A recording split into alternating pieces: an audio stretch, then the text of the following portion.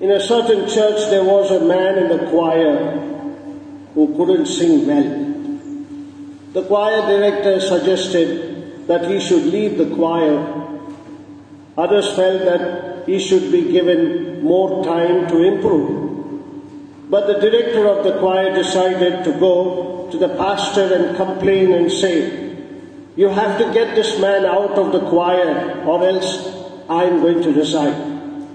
So the pastor went to the man and said to him, Perhaps I think you better leave the choir. The man immediately said, Why should I leave the choir? And the man who said, Why should I leave the choir? Perhaps then the pastor said, About four or five people told me that you cannot sing at all. That's nothing. That's absolutely nothing. 40 or 50 people told me that you cannot preach at all.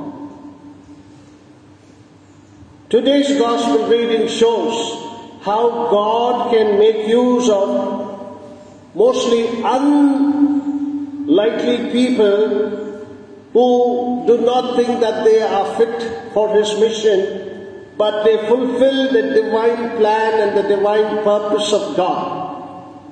Very often you will find that the most unworthy person is called to do the divine work. And today's gospel reading, the first, uh, first reading and the second reading are correlated to show the call of Isaiah, the call of Paul, and the call of Peter and his companions. And this is exactly the call for each and every one of you that you are called, even though you say, No, no, I am not fit enough. He has called you for a particular purpose. It may be something somewhere that He wants you to fit in in that divine purpose of His. It is only you and I sometimes are caught up with the world that we are not able to trace out what is that. But if you look into today's gospel reading and the two other readings, you will say like how Peter, Paul, and Isaiah become co-workers. They realize that there is a presence of God in them. This is what we see very clearly. For Isaiah says in the first reading, Woe to me, I am lost, for I am a man of and I live among people of unclean lips.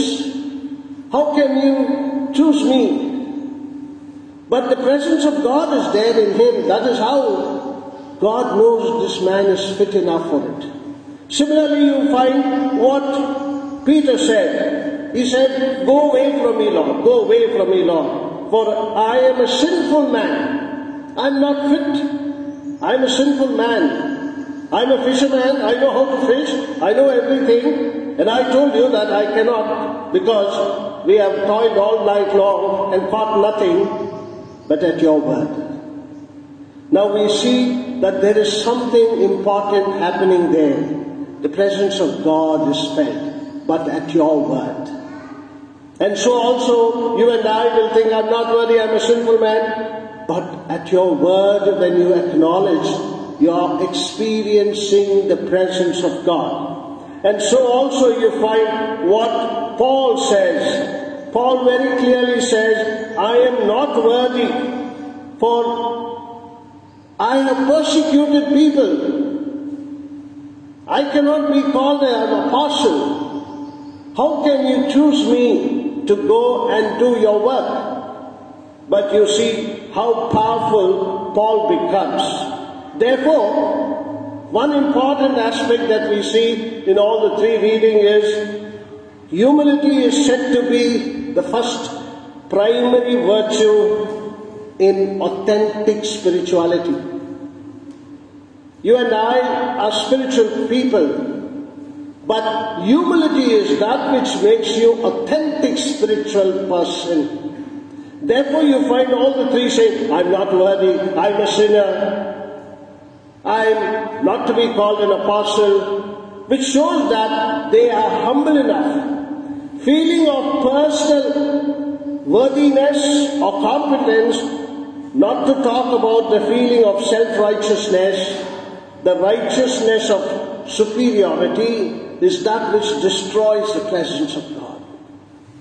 Because I consider myself superior, I consider myself personally worthy, very competent, then God's presence goes away from us. But in our humility, God's presence is felt. Therefore, you are ready to do anything for God. You are ready to do anything for Jesus. The second aspect that we see here is when all the three confess, I'm not worthy, I'm a sinner, I'm not fit to be apostle. The soul confess its sinfulness, the inadequacy before God. God at that time reaches out. He absolves you. He forgives you. He renders you competent to serve Him. So you see very clearly that when you come to show your humility, He empowers you, He strengthens you, and He makes you fit enough. Like in the case of Isaiah, we see, oh, now that it you have touched our lips. The guilt has departed and the sins are blotted away. So I can now become worthy. So also Peter said, when Jesus says to him, do not be afraid, from now on you are going to do something else. You are going to catch men. So you see, one is Isaiah is forgiven, his sins are all blotted off. The second aspect is that Peter is now commissioned to catch men. And Paul, who said, by the grace of God, I am what I am. He considers himself powerful, but because of Jesus. The third aspect that we see in today's three readings Beyond the feeling of personal unworthiness, there is another quality of all these three people called to do God's work in today's readings have in common, and that is the availability to God, willingness, readiness to follow His directives. This is very important when you are called. Are you ready? Are you available? It's not are you fit enough, but from your side, are you ready? Are you willing? Are you now fit, now ready to do this work? Like how Isaiah in the voice said, Whom shall I send? And whom shall I send and who shall go with us? And Isaiah says, Here I am, Lord. Now that is readiness. He not only says, Here I am Lord, he also says, Send me. That is the willingness. So also you find Peter and his partners, they left everything. In spite of the heavy catch, in spite of the miracle happening, they leave everything. And they follow him. That is the readiness. That is the willingness not to look back, but to look at what Jesus wants them to do. So also you find what Paul wants in today's second reading. It says, It was not I, but the grace of God that is with me has made me ready. And therefore, I can't say no to you. I have to say yes. Like, you know, it's not that cornering Paul, but rather making him powerful, empowering him. That is how they, all the three show their availability and willingness to go out and do the Lord's work. The final aspect that we see here is when we follow the guidance of God, when He calls you, and when you are ready to do and show your availability and willingness, we can achieve results that will blow your mind out. And that is what happened to Peter and the others. Their minds blew off and they were astonished at the catch. Jesus is not a fisherman. He is a carpenter's son. But he tells them, put your nets in the deep. And they catch. Just imagine the fishermen must have been astonished. Are you some extraordinary fisherman? Or are you an underground current that knows where the fishes are? That you are capable of telling us, we toiled all night long, we caught nothing, and now you are telling.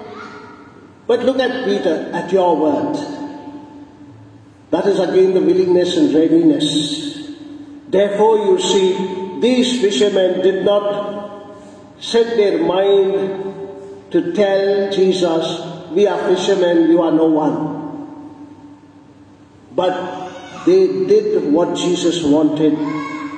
Today, as always, the Lord is always again continually asking this question Whom shall I send? And who will go for, for me?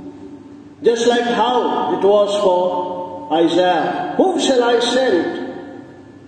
And who is there for me?